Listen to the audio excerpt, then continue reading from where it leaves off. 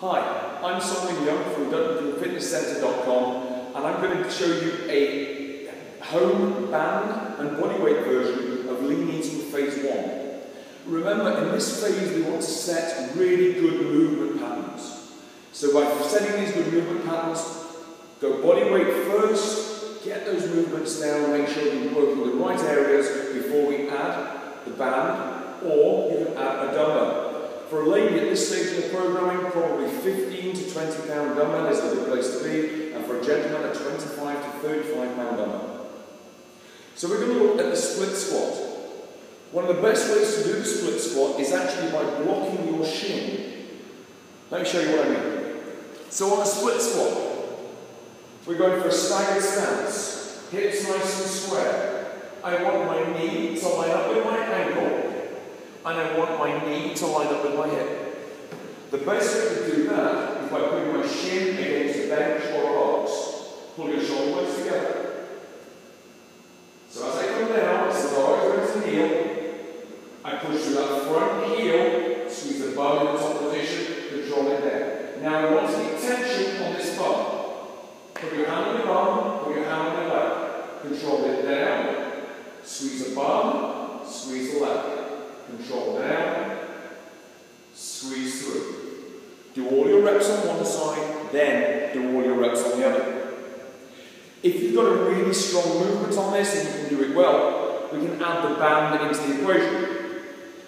We step on the band, put it under the instep. We're going to squat down, put the band around our shoulders, put it away from our neck, and then we're going to go split squat in the band.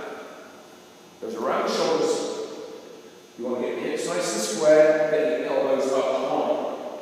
Once you've got that position, you keep the toe, you lower the heel and midsole of the front foot, squeeze the bum, squeeze the bum, drive through and down. Really squeeze those glutes to stabilize. Control it down and back, pause, drive up strong.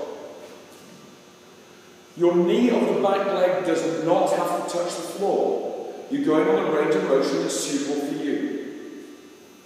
So from there, from the split squat, we're going to a three-point row. One of the best ways to do a three-point row with a band, put your knee onto a bench or a sturdy chair, put the band around your butt, around your foot, and double your band. We use a linked band, so we put our wrist through and then grip the band. That gets us around a lot of gripping issues. Hand goes on. Tuck the chin slightly. Make sure we're not shrugging. It's as though I'm trying to pull my shoulder blade into my back pocket. So I squeeze my bum on this supporting leg, I pull my shoulder blade in towards my back pocket, I control it there. I stop when my shoulder blade stops moving. It doesn't matter how high the elbow goes, I only go as far as my shoulder blade moves down and back. Do not let your hips turn when you do this. You want to stay square over those hips by squeezing that bum. Do your reps on one side, then do your reps on the other. From there, we're going to go into an alternative to the thoracic extension. If you don't have a stability ball, thoracic extension is designed to mobilize your mid and upper back. So we're going to go with heels and bum close together, hand on the floor, other hand is at the side of the head. You inhale, looking towards the ceiling and you exhale and tuck through. You want to keep the lower back neutral, nice and flat. If in any doubt, put your hand on your lower back. Keep it nice and flat. Once you're aware of it, you got it nice and flat. Use mobilize the mid and upper back. Do all your reps on one side, then do all your reps on the other. The next three exercises we're going to look at, we're going to look at a hip raise with bent knees. We're going to look at a half kneeling chest press, which we saw in the first video, and we're going to look again at the half kneeling Pallof hold, which we had in the first video. So once again, we're trying to cement in really good movement patterns, so repeating them is not going to be a problem. The hip raise. In the first video, we looked at the hip raise being like this, hips nice and square, squeezing the glutes, and progressing by doing single leg hypnosis. Now what we're going to do is we're going to get ourselves level in our box or step or bench, put our heels onto the bench, knees are bent at 90 degrees.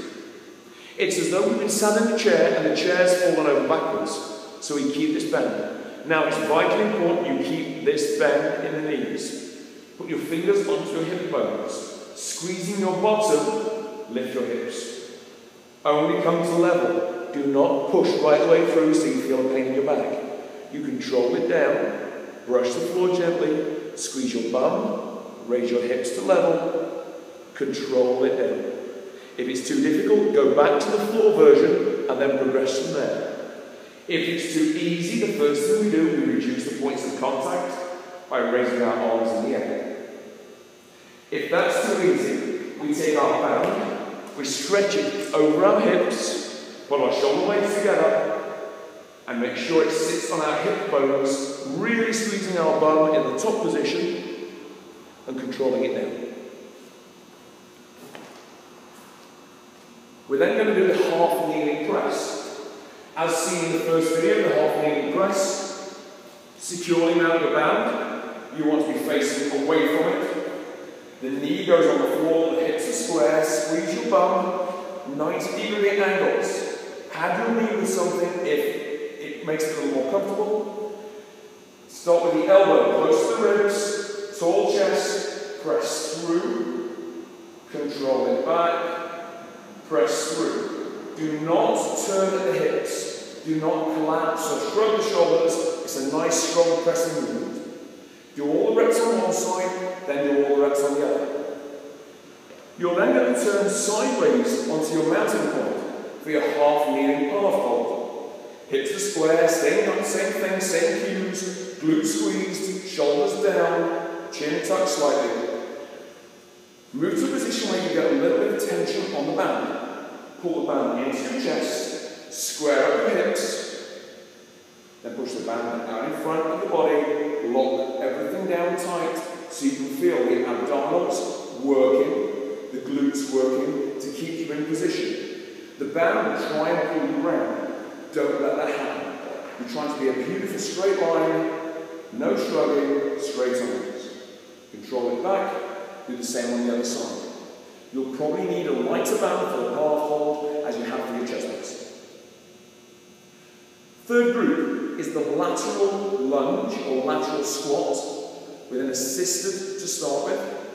From the lateral assisted, we're going to go into half kneeling row and then a pull down iso. The assisted lateral, we want to have nice wide feet. Have our feet like that on skis. Push your hips over and back. You're fully weighted in your heels. Your back is flat. From there, you control it up, over, back. Push your hips back, control it up. So at the minute, I've got my hand into my lower back, keeping a nice neutral spine. If I need to regress this to make this a little easier, I find something hold on to. Push over and back, Load up my hips, my back is flat, my glutes are loaded. I'm going to push through my heels, go up to the top, over, back, push to the top. To progress this and make this more challenging, we actually can add a step. Only add a step if you can keep that neutral stride and you make sure that you're pushing through your heels. To add a step, we step over, push the hips back, neutral spine, drive up to the top, and do the same on the other side. Half kneeling row, same cues as a half kneeling press. We're going to step back so we have some tension on our band. We're going to kneel down. If I'm using my left arm, my left leg is kneeling. My hips are square. Squeezing my bum on my right leg, shoulders are down, chin is tucked, hand is out to the side. I'm going to pull my shoulder blade down and back like I have on my other row squeezing, control this back, squeeze, control it back. It doesn't matter how far back your elbow goes, you're trying to move that shoulder blade down and back. Do equal reps on both sides of the body. Final one is the lat pull iso. This is as described in the workout. You place your band up somewhere nice and high. You're going to start with straight arms.